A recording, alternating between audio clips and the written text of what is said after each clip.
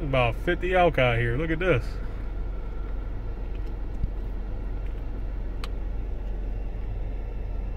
I've never seen so much elk in my life.